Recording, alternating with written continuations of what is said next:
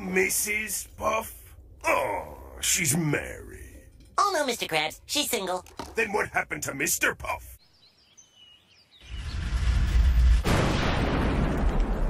She doesn't like to talk about it.